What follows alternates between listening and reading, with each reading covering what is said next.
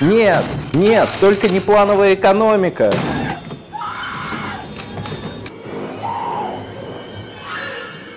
Привет от Маркса! Плановая экономика неэффективна, и все попытки ее построить так или иначе остались в прошлом. Именно так говорят нам эксперты-рыночники по всему миру. Особенно, когда хотят продать за бесценок очередной государственный завод нужным людям. Действительно, все современные страны так или иначе отказались от полностью планового хозяйства. Где-то как в СССР это произошло с развалом страны, где-то как в Китае, на Кубе или во Вьетнаме этот процесс был более плавным. Последней держится Северная Корея. Но даже там с приходом Ким Чен Ына стали осторожно внедряться отдельные рыночные элементы. Так что же, получается, что разумнее рынка человечество уже ничего не придумает? И я бы, может быть, даже поверил экспертам-рыночникам, если бы вот окружающий мир не убеждал меня в обратном. Плановая экономика не только существует, она постоянно пробивает себе дорогу через хаос рынка, отвоевывая все больше и большее пространство. И не где-то там на отшибе планеты, а в самых развитых капиталистических странах. Я бы даже сказал, что плановая экономика уже здесь. Вестник бури продолжает говорить о том, как сегодняшние тенденции и технологии приближают коммунизм, от которого, как некоторым казалось, мы давно ушли. Ну что ж, поехали.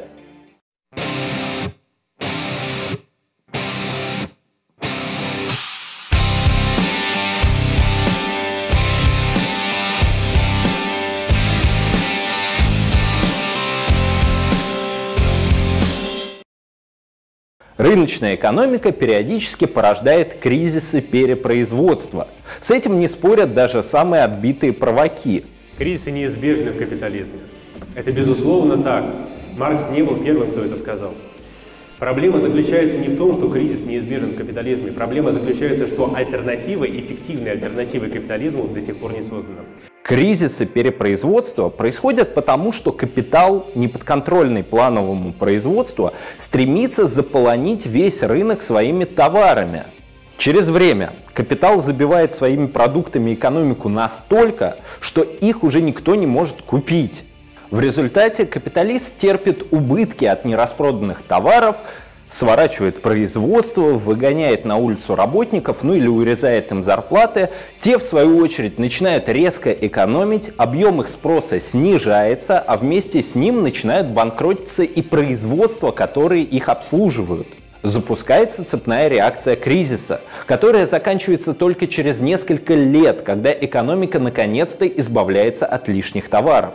Примерно по такой схеме развивался предыдущий кризис 2008-2009 годов. Однако его особенность была в том, что это был финансовый кризис.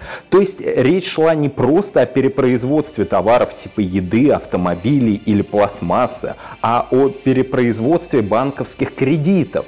Но что такое кредит? Кредит – это попытка временно добавить людям покупательной способности там, где она на самом деле уже исчерпана – по сути, 10-15 лет назад в мире мог начаться обычный кризис перепроизводства.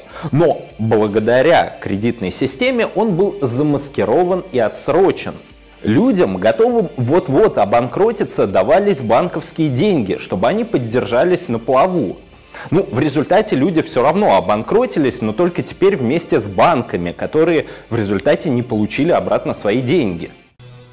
Господа, очередная страховая компания сейчас обанкротится. Определим наиболее разумный шаг для этой компании.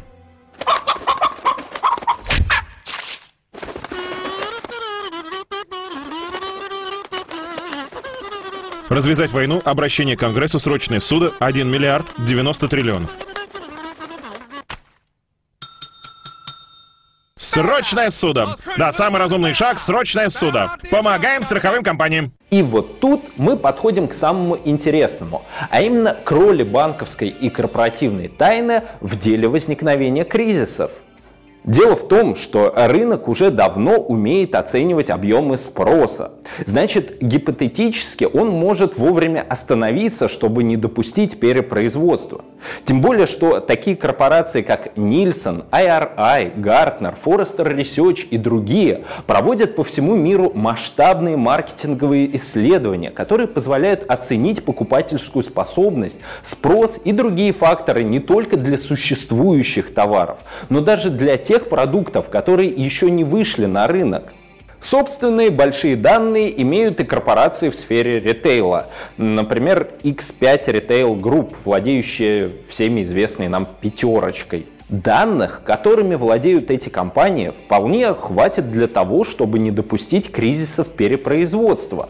Но тогда это будет уже не столько рыночная, сколько плановая экономика. Объемы производства всех товаров будут браться не из шальной головы предпринимателя, а из результатов научных исследований. Хочешь максимизировать прибыль? Ну, подчиняйся этим исследованиям. Да и сам размер прибыли будет вполне предсказуем.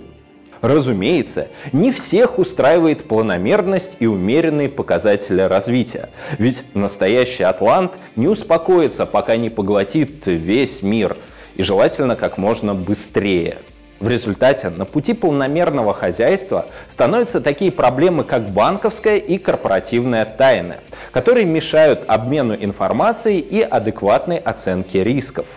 Закрытость данных, помноженная на вероломство спекулянтов, создает финансовые пузыри, которые все равно рано или поздно лопаются, обрушая мировую экономику, но позволяя единицам подниматься к богатству на чужой беде. Как по мне, для человечества гораздо дешевле будет сделать эти данные открытыми и получить равномерно развивающуюся экономику, чем терпеть кризисы во имя призрака тайны личной, корпоративной или финансовой жизни.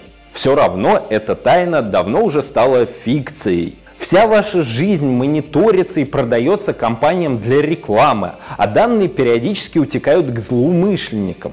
Ну да ладно, бог с ними, с плановыми показателями выпуска. Но как же быть самым святым для либералов, со свободой предпринимательства? Будущее. Плановая экономика отличается тем, что вы не можете открыть кофейню. Так, подождите, а кто сказал, что вы сможете открыть кофейню при капитализме? Запах прибыли приятен, от чего бы он ни исходил. Особенно, когда он исходит от пекарни, да еще и с таким прекрасным названием «Сладкая булочка». Дэнни, как ты думаешь, смогут они открыть кофейню? Нет. По официальным данным, только 3% предпринимателей выживают в России после трех с половиной лет на рынке. 3%. Вероятность того, что очередной мамкин Атлант придет к успеху, ничтожна. В развитых капиталистических странах процент выживаемости малого бизнеса больше. Но не потому, что там более правильный рынок. Наоборот, США и государства Европы активно помогают малому бизнесу, в том числе и налоговыми льготами, чтобы удержать его на плаву. Если бы не государственная поддержка, так ненавистная правым либералам и либертарианцам, малый бизнес давно бы исчез из экономик развитых стран, уступив место крупному бизнесу. На логичный вопрос, почему малый бизнес всегда проигрывает крупному в честной конкурентной борьбе, есть один очень короткий ответ. Звучит он так. Эффект масштаба. Экономический принцип, который признают даже кумиры либералов. Да, мы работаем над снижением цены авто, но это не просто. Чтобы сделать авто доступным, нужно очень... Требуется большой объем продаж. Это эффект масштаба. Поскольку вы выпускаете гораздо меньше, чем другие, для них этот эффект гораздо благоприятнее. В переводе на простой язык, чем больше вы производите, тем меньше ваши затраты на одну единицу продукции. Например, вы потратили на создание прототипа автомобиля 100 миллионов рублей. Сюда включается дизайн, инженерные работы, чертежи, согласование с контролирующими органами, многочисленные испытания и так далее. При этом на создание одного автомобиля на конвейере тратится всего 500 тысяч рублей. Ну, допустим, вы решили произвести всего два автомобиля на продажу, включая прототип. По какой цене вам нужно их продать, чтобы не остаться в убытке? Ну что, мои юные математики, правильный ответ 50 миллионов и 500 тысяч рублей. Это потому, что все затраты на создание прототипа равномерно ложатся на оба экземпляра. Но что, если вы решили произвести не два, а тысячу автомобилей? В таком случае вам достаточно установить цену на каждый экземпляр всего по 600 тысяч рублей. Потому что стоимость прототипа теперь размазана по гораздо большему числу продуктов. Эффект масштаба наблюдается вот практически повсюду. Например, сейчас в регионах известна и популярна такая вещь, как совместная закупка, при которой множество людей объединяется, чтобы сделать один большой заказ по оптовой цене вместо кучи розничных. А розничные цены на минутку обычно в два раза выше оптовых. И в излюбленной либералами и наивной молодежью среде стартапов тоже работает эффект масштаба. Подавляющее большинство стартапов закрывается как провальные. Те же, что все-таки выстреливают, как правило, не становятся самостоятельными компаниями, а продаются более крупным гигантам. Даже в последние годы известных примеров куча, назову только некоторые из них.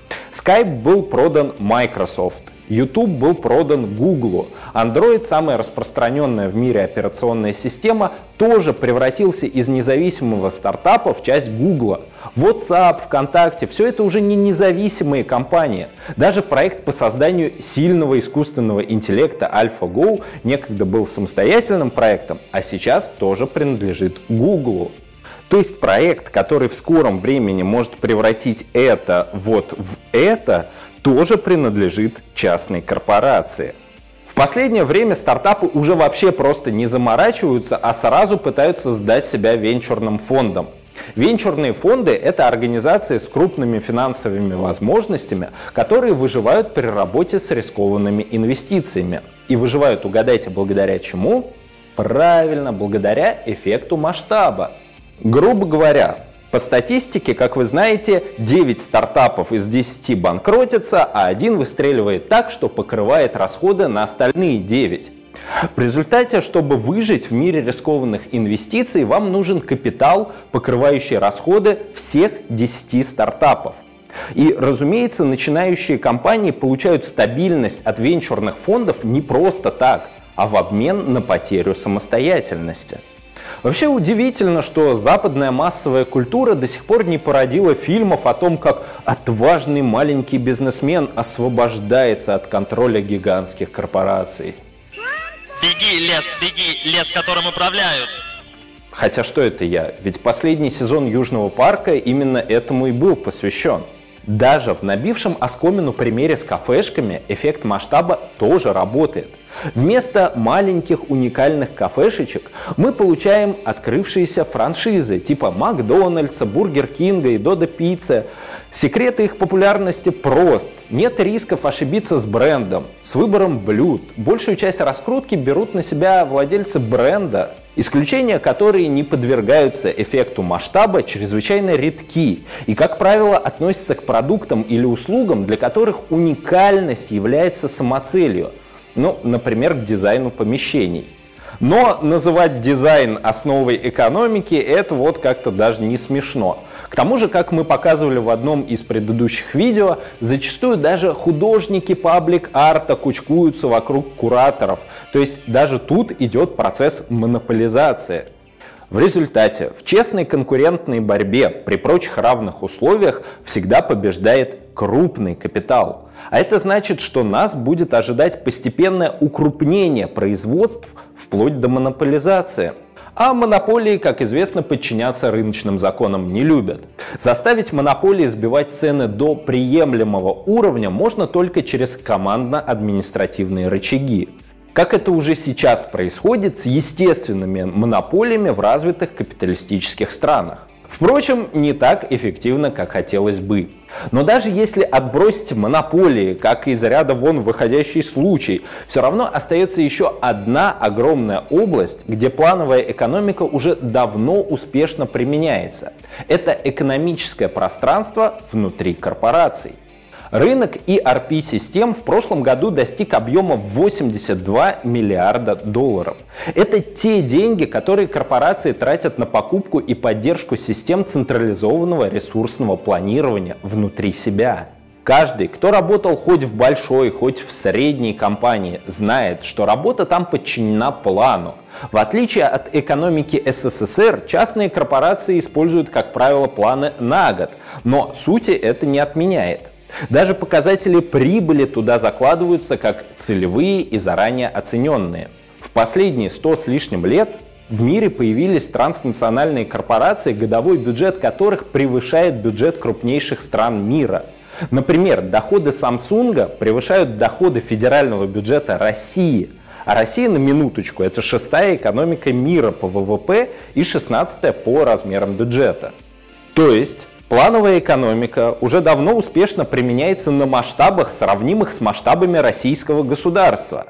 Но адепты рынка продолжают рассказывать сказки о том, что план не жизнеспособен. А еще мне сказать осталось до свидания. Конечно, любой либерал обязан здесь сказать, что да, плановая экономика в ограниченных объемах работает. Но если она поглотит всю страну или тем более весь мир, будет ад и погибель. Ведь полная централизация означает, что власть оказывается в руках одного человека или небольшой группы людей, которая, о ужас, начинает диктовать свою волю подчиненным. В реальности, конечно же, все иначе. Эта рыночная экономика порождает корпорации размером с целые страны, руководство которых формально подчинено только акционерам. А контрольным пакетом акций владеет, как правило, вообще один олигарх или небольшая группка. Социализм означает не только централизацию, но и национализацию и демократизацию. А это значит, что компании, ранее подчинявшиеся частным лицам, становятся теперь частью общественной собственности. Общественная собственность может управляться отдельными конкретными лицами, но эти лица будут избираемы, смещаемы и подотчетны всему населению, а не частным владельцам бизнеса, как при капитализме. Кроме того, все население будет проходить обучение управленческим специальностям, чтобы контролировать своих избранников наиболее эффективно, сводя к минимуму эксцессы. Кстати, ты уволен. Что мы имеем в итоге?